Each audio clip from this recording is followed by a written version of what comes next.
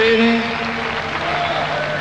Hey, we'd like to uh, do one now uh, written about a duck. It's called Even the Losers. One, two, one, two.